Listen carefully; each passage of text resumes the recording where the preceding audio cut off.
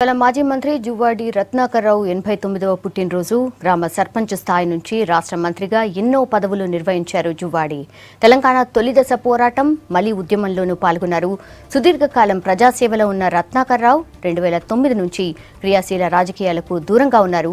ఇవాళ రత్నాకర్రావు ఎనభై తొమ్మిదవ పుట్టినరోజు సందర్భంగా ప్రజా జీవితంలో జువ్వాడి అనుభవాలను తో పంచుకున్నారు.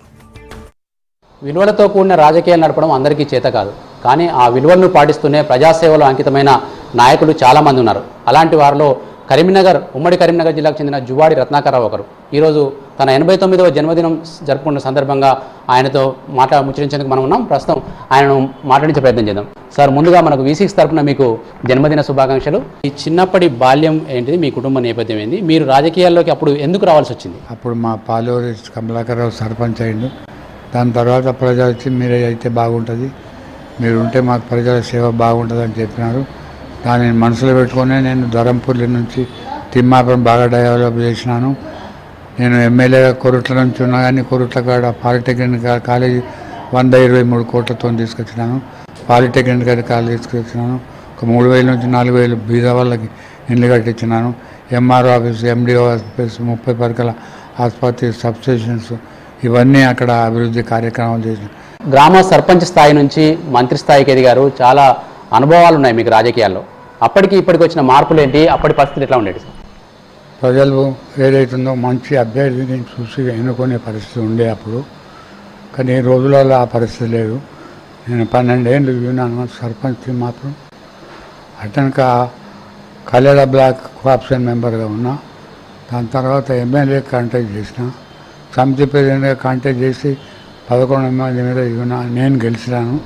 తెలంగాణలో ఇదివరకైతే ఏవైతే జ్ఞాపకం లేకుండా మర్చిపోయినారో వాటన్నిటిని కూడా ఇప్పుడు అభివృద్ధిలో చంద్రశేఖరరావు పాల్గొంటున్నారు కాబట్టి వారికి నేను ప్రత్యేకమైనటువంటి అభి అభినందనలు.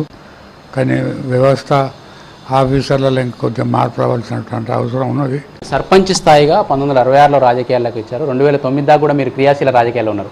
అప్పటి పాతరం ఇందిరాగాంధీ నుంచి మొన్నటి తరం నాయకుల దాకా మూడు నాలుగు తరాల నాయకులు చూశారు.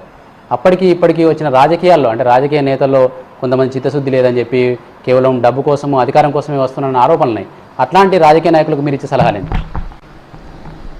వాళ్ళు ఏదైతుందో అప్పుడు ఇందిరాగాంధీ ఉన్నంతసేపు బాగా జరిగింది. గ్రామాలలో ఎక్కడైనా తప్పులు జరగలేదు.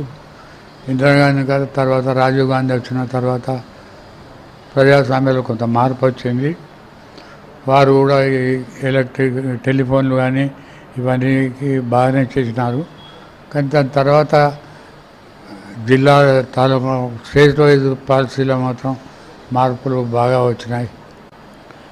టికెట్లు సరైన మనుషులకు ఇవ్వకపోవటం చుట్టాల బంధువులకు ప్రేమ చూపటం కుల వ్యవస్థలు తీసుకొచ్చి పెట్టడం ఇవన్నీ జరిగినాయి కాబట్టి ఇంకొకటి చెప్పండి సార్ మనకు మీరు స్వాతంత్ర పోరాటాన్ని చూసారు మీరు పుట్టిన చిన్న మీ చిన్న వయసులో స్వాతంత్ర ఉద్యమం జరిగింది.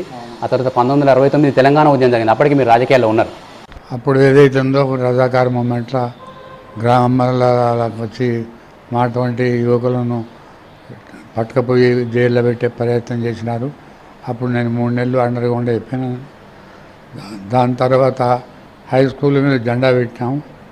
అప్పుడు నక్సలైట్ల కాలంలో మేము ఎటన్నా బయట పోతే మాజీ స్పీకర్ నారాయణరావు ఉన్నాను బంధించినారు. అటెనక చాలా మంది వచ్చి విడిపించకపోవటం కూడా జరిగింది. కేవీ నరసింహరావు విజయవాడ నుంచి కరీంనగర్ వచ్చి మమ్మల్ని అందరినీ పిలిచినాడు. మీ అందరికి పెన్షన్ ఇస్తానని చెప్పి అడగటం జరిగింది. కానీ నేను పెన్షన్ అప్లై చేయలేదు. పెన్షన్ కొరకు మేము పని చేయలేదు కాబట్టి నాకు పెన్షన్ అవసరం లేదన్నాను. నా తోటి వాళ్ళందరూ పెన్షన్ తీసుకుంటున్నాను నేను మాత్రం పెన్షన్ తీసుకో తీసుకోవటం లేదు. ఆనాటి నుంచి ఈనాటి దానికి కూడా మేము తెలంగాణకు అనుకూలంగానే ఉన్నాం. తెలంగాణ కార్యక్రమాలే చేసినాం తప్ప వేరే కాదు. మీ కుటుంబం నుంచి మీ తర్వాత మీ రాజకీయ వారసులుగా కృష్ణారావు గారు కానీ నరసింహారావు గారు కూడా క్రియాశీల రాజకీయాల్లో చాలా కీలకంగా ఉన్నారు. మీ కొడుకులకు మీ వారసత్వంగా మీరు ఏమి ఇస్తున్నారు వాళ్ళు ఎట్లా ఉండాలని కోరుకుంటున్నారు ఇంకా? నేను ఏదైతే ఉందో ఎయిటీ నైన్ వరకు కాంటెస్ట్లో ఉన్నా అతనికి విడ్రా అయినా. తదుపరి మా పిల్లలకి వెళ్ళి నరసింహరానికి టికెట్ ఇవ్వని కాంగ్రెస్ కోరినాను. పొన్నాల లక్ష్మి గారు ఇస్తామని చెప్పి ఆ పేరే పెట్టలేదు. వేరే వాళ్ళకి ఇచ్చినప్పుడు మేము టికెట్ ఇస్తే గెలిచేవాళ్ళం దాని తర్వాత మేము టీఆర్ఎస్లో జాయిన్ అయినాం. ఇప్పుడు రాజకీయ నాయకులు మీరు బుగ్గారం శాసనసభ్యులుగా ఉన్నారు. తర్వాత కొరట్ల నుంచి కూడా కాంటెస్ట్ చేశారు. తర్వాత దేవాదాయ శాఖ మంత్రిగా స్టాంప్ రిజిస్ట్రేషన్ శాఖ మంత్రిగా పనిచేశారు. ముఖ్యంగా మన కరీంనగర్ జిల్లా కానీ తెలంగాణలో కానీ ఇప్పుడు భూ సంస్కరణలు కూడా రాష్ట్ర ప్రభుత్వం చేపట్టింది. మీరు స్టాంప్స్ అండ్ రిజిస్ట్రేషన్ శాఖలో ఉన్నారు కాబట్టి అట్లాగే ఆలయాల అభివృద్ధి కూడా రాష్ట్ర ప్రభుత్వం చాలా చర్యలు తీసుకుంటుంది. అది యా- యా- యాదగిరి గుట్ట కావచ్చు తర్వాత వేములవాడ కావచ్చు ఇవన్నీ చేస్తున్నారు. ఇప్పుడు ఈ ప్రభుత్వానికి మీ అనుభవంతో ఏదైనా సలహా ఇస్తారా? భూమి సర్వే ఏదైతుందో చాలా మంచిది. ఎందుకంటే నిజాం ప్రభుత్వం తర్వాత ఎప్పుడు కూడా సర్వే చేయలేదు. ఇప్పుడు చేసే సర్వేలో ప్రజలకు న్యాయం జరగాలి గ్రామీణ ప్రాంతాలలో చాలామంది భూస్వాములు నలభై ఏళ్ళ కింద ముప్పై ఏళ్ళ కింద అమ్ముకున్నారు. వాళ్ళను కాగితాలు అడుగుతున్నారు అప్పటి కాగితాలు. రాయకుండా తీసుకున్నటువంటి భూములు ఎన్నో ఉన్నాయి. నేను అమ్మిన భూములకు కూడా కాగితాలు లేవు ఇప్పుడు వచ్చే కార్యక్రమంలో వీళ్ళందరినీ ప్రతి ఒక్కరిని పట్టాలు చేయించుకోమని చెప్పడం జరుగుతుంది. కానీ కొన్ని ఎక్కల సరిగ్గా జరుగుతలేదు. దీని మీద పెద్ద ప్రభుత్వం సిద్ధ చేయాల్సిన అవసరం ఉంది. ఈరోజు ఎనభై తొమ్మిదవ జన్మదినాన్ని జరుపుకుంటున్న ఇతను మరిన్ని పుట్టినరోజు జరుపుకోవాలని వి సిక్స్ తరఫున మనము ఆశిస్తూ ఆ, cameraman Srikanth Venkatesh V six news Karimnagar జిల్లా.